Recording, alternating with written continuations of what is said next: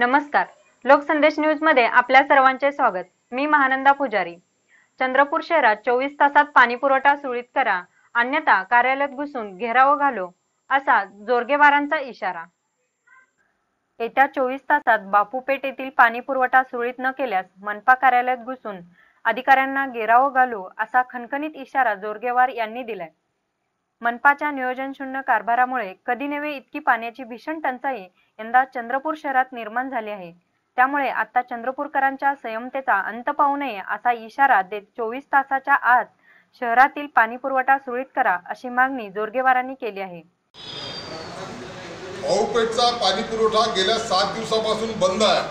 भाऊपेठचा पाणी पुरवठा सोबतच शहरातल्या अनेक भागामध्ये पाणी पुरवठा तीन तीन चार चार दिवस होतो आहे आम्ही आता आयुक्त साहेबांना सांगितलं की भाऊपेठचा पाणी पुरवठा उद्या जर सुरू झाला नाही तर उद्या ही महानगरपालिका आम्ही चालू देणार नाही. एकीकडे लोकांना पाणी मिळत नाही अधिकारी या ठिकाणी गंमत केल्यासारखं होत आहे.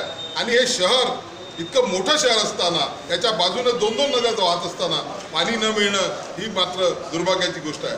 म्हणून आयुक्तांना भेटलं आयुक्तांनी या समस्येची गंभीरतेने दखल देत त्यांनी निर्देश दिले की उद्यापासून भाऊपेठचा पाणी पुरवठा सुरळीत होईल.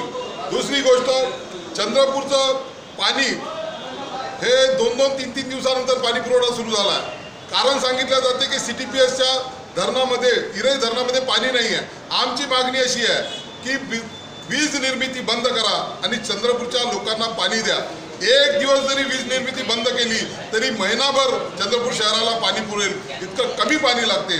आणि हे सुद्धा करू शकत नाही. म्हणून आता आम्ही यानंतर कलेक्टरांकडे जात आहोत आणि सांगणार आहोत की तुम्ही वीज निर्मिती वाटल्यास आवश्यक असेल तर बंद करा. परंतु चंद्रपूर शहराचा जे पाणी पुरवठा आहे तो मात्र सुरळीत राहायला पाहिजे. नाहीतर आम्ही वीज निर्मिती या ठिकाणी होऊ देणार नाही. ही सुद्धा आमची शिवसेनेची भूमिका आहे. या मागणीची दखल न घेतल्यास मनपा अधिकाऱ्यांना व पदाधिकाऱ्यांच्या कार्यालयात घुसून घेराव घालू असा इशाराही जोरगेवारांनी दिला आहे.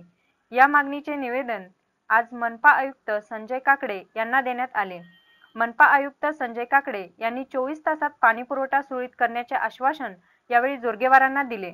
यावेळी मनपा नगरसेवक विशाल निंबाळकर माजी नगरसेवक आकाश साखरकर उपजिल्हा प्रमुख माया पटले उपशहर प्रमुख आबासभाई रुपेश पांडे इरफान शेख किशोर बोलमवार दिलीप बेंडले संतोषी चव्हाण वंदना हातगावकर राशीद हुसेन विनोद अनंतवार विनोद गोलजवार करणसिंह बैस विलास सोमलवार शंकर दत्तुलवार गौरव जोरगेवार हेही उपस्थित होते.